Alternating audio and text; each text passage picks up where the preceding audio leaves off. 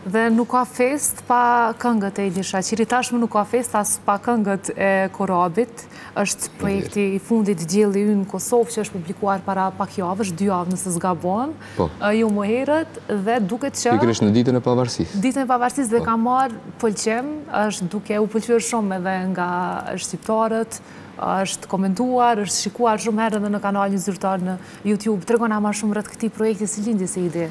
Unë këtë kangë e kam shumë për zemër. Unë këtë kangë e kam krijuar me shumë dëshirë, me shumë dashuri, me shumë përkushtim, sepse është një ndër kangët e mia të cilat në zhvillim të saj, më ka marrë shumë emocion. Mhm. Për arsye sepse këtu i referohet nanës. Këtu i, i, i përmendet nana, por gjithmonë i referohet Kosovës. Mhm. Edhe e kam e kam e kam përfundu kangën shumë ma herët, por Jam sjell shumë rreth klipit, se çfarë klipi t'i bëj. Mhm. Kam pas shumë ideja, kam pas shumë kam pas shumë kërkesa.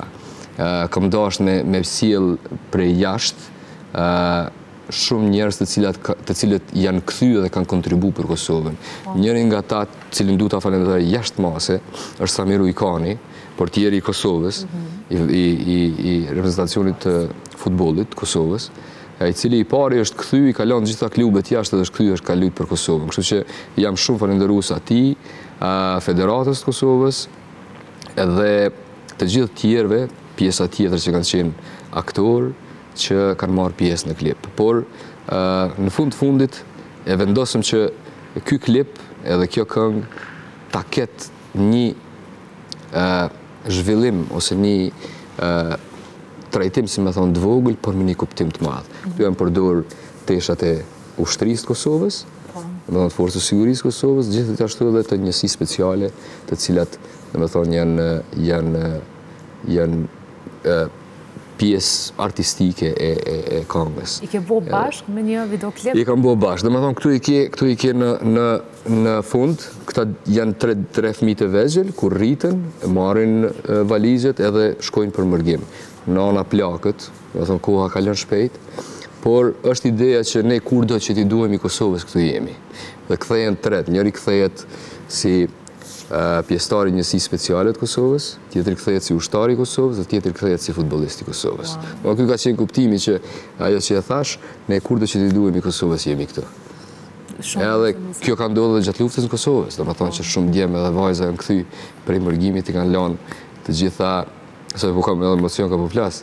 I kanë lënë të gjitha ë ë të mirat e tyne, edhe kanë ardhë, kanë luftu për Kosovën dhe kanë ranë n'Kosovë. Një copë e historisë sonë në këtë këngë dhe një kosishë në këtë klip që po e shohim. Dhe si e pritën edhe të tjerët ata që bënë pjesë e këtij klipi bashkëpunëtorët, si e pritën këtë ide? Kemi kalu shumë, domethënë, lehtë edhe mirë, sepse Lirimi, djali i cili e ka realizu klipin, Lirim Ahmeti, dhe të gjithë tjerët pjesë e klipit, Mevlid Osmani,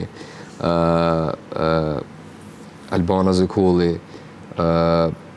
Genti, edhe të gjithë të tjerë, domethënë, kanë qenë një grup sikur, sikur një, një tërsi, edhe në fund të klipit thanë, po ka dalë se shumë shpejt u kry klipi, por në fund kur thanë, po qysh ka me dalë, Kur e panë në fund klipin, definitivisht edhe unë u e kisha shumë për zemër, që është në fillim dhe u emocionova shumë, për arsye sepse kam kërku shumë, dhe në fund doli me të vërtetë një diçka të cilën, të cilën ndoshta edhe më mirë sa që e kam prit.